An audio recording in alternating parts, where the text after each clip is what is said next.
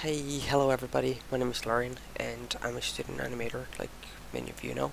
And this is kind of what I'm working on right now. It's it's part of my series, this is like season 3 kind of stuff and yeah, we're in Japan. So uh, I don't really want to zoom in, just keep it like that for now. And uh, I want to show you a couple of things that I've done to make this drawing a bit more interesting. So the first bit has to do with the way I set up, set up uh, everything, really. I'm gonna show you now. So one of the first things I considered when I started drawing this stuff here uh, was composition, and I'll show you how. So I began with this character here, which is number 7 and I placed him right in the middle of the image as in horizontally he's right in the middle. And in terms of ver vertically he's um, in the higher half. I didn't place him exactly in the middle because that's I don't know it looks weird as hell. So I just brought him up.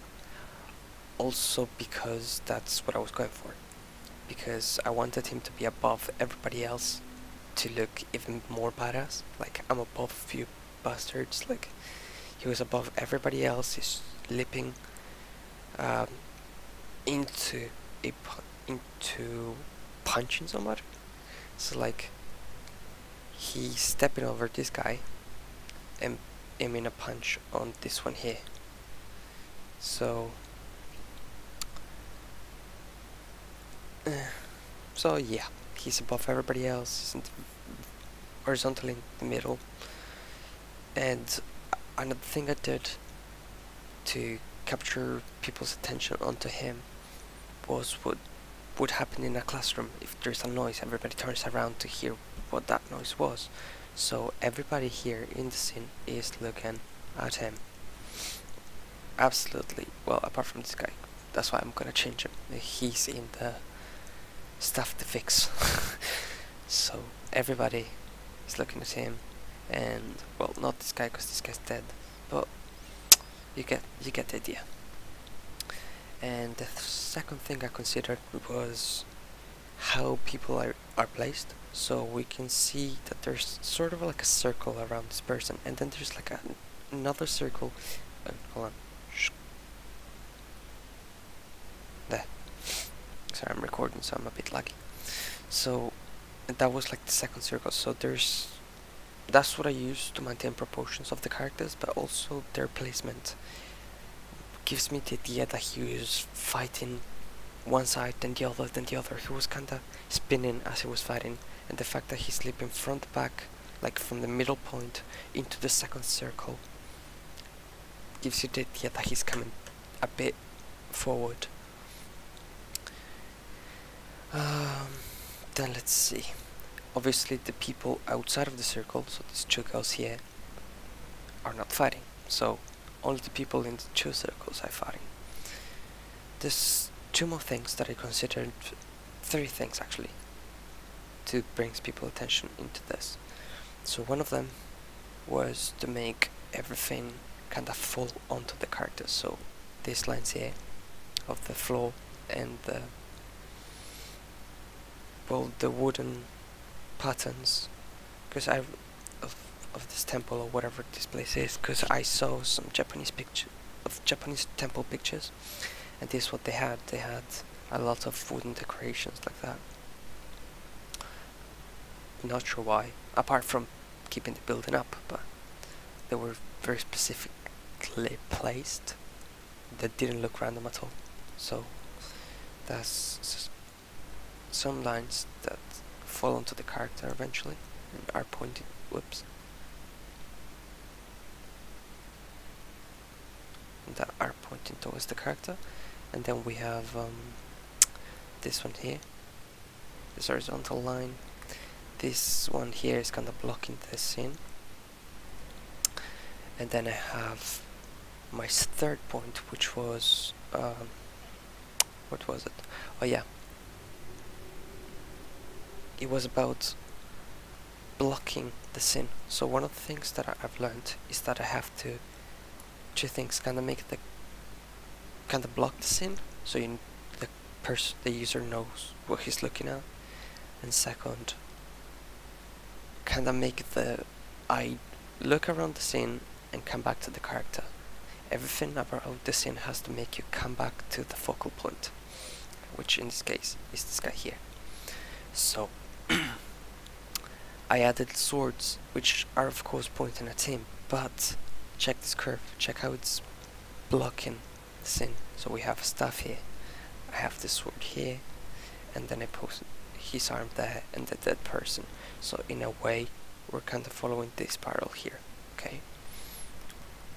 So and like I said it was about blocking the scene as well. So you cannot see it so well in here because I'm still working on it uh, it will look a lot better when I finish the join of course. But if I turn the what the fuck layer um, you can see I'm planning to add curtains here.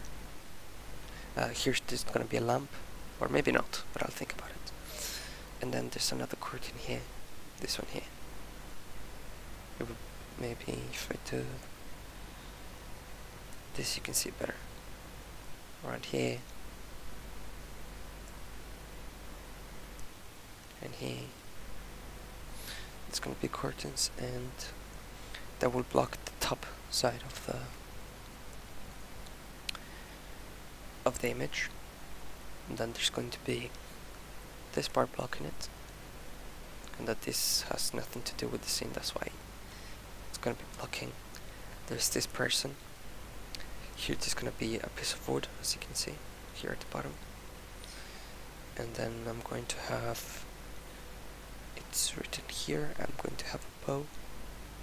So wooden piece a bow this sword coming off like that. Well he's gonna be holding it. So this person's gonna be like this.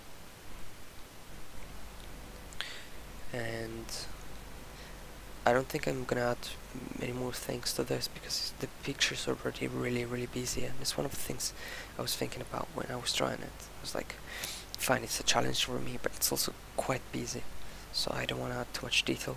Um, in fact with these girls here at the back I don't think I'm gonna add anything to them.